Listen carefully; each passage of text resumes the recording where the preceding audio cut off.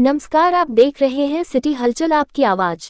ग्राम पंचायत बिजोरी में विकसित भारत संकल्प यात्रा का हुआ स्वागत। गोष्ठी आयोजित कर ग्राम वासियों को दी गई सरकारी योजनाओं की जानकारी। ग्राम प्रधान की अलकारानी अध्यक्षता एवं ग्राम पंचायत विकास अधिकारी सत्येंद्र सिंह के संचालन में संपन्न हुई। विकसित भारत संकल्प यात्रा की बैठक बैठक को मुख्य अतिथि के रूप में वरिष्ठ भाजपा नेता चौधरी ईशम सिंह ने संबोधित किया। उन्होंने कहा कि भारत संकल्प यात्रा का आयोजन प्रत्येक ग्राम पंचायत में होना सुनिश्चित हुआ है।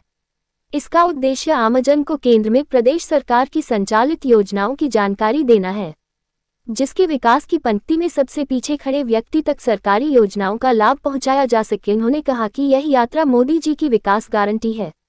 केंद्र सरकार ने आयुष्मान स्वास्थ्य कार्ड योजना चलाकर आमजन को बहुत लाभ पहुँचाया है।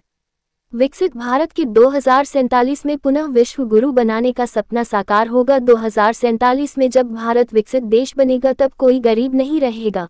रक्षा क्षेत्र में, निर्यात क्षेत्र में भारत ने अपने साथ बाह्य जनधन खाते के माध्यम से आम जनता को विभिन्न योजनाओं का सीधे लाभ मिल रहा है।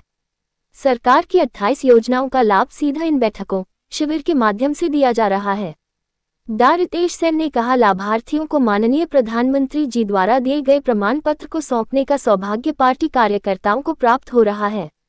कार्यक्रम में उपस्थित ग्राम वासियों को चौधरी ईशम सिंह ने प्रधानमंत्री सम्मान निधि, आवास तथा घरौनी के प्रमाण पत्र वितरित किए गए जिला कार्यकारिणी सदस्य पूर्व मंडल अध्यक्ष बीजेपी कमल सैनी, ग्राम प्रधान अलकारानी ग्राम पंचायत विकास अधिकारी सत्येंद्र सिंह, महेंद्र सिंह कृषि विभाग, सुरेंद्र सिंह सहकारिता विभाग आंगनबाड़ी कार्यकर्त्री आशा बहन, राजस्व विभाग, मनरेगा सहित कई सरकारी अधिकारियों, कर्मचारियों ने भाग लिया। राजस्व विभाग से आए लेखपाल लेशवंत सिंह सभी को सरकारी योजनाओं के विषय में विस्तार से बताया। इस अवसर पर अरविंद कुमार, चौधरी ईशम सिंह, डा. रितेश सेन, जोगेंद्र सिंह, निरंकार सिंह, मनोज, संतोष देवी, ममता रानी, शीतल कुमारी, शिवानी, सुमित गुर्जर, अरविंद विश्वकर्मा आदि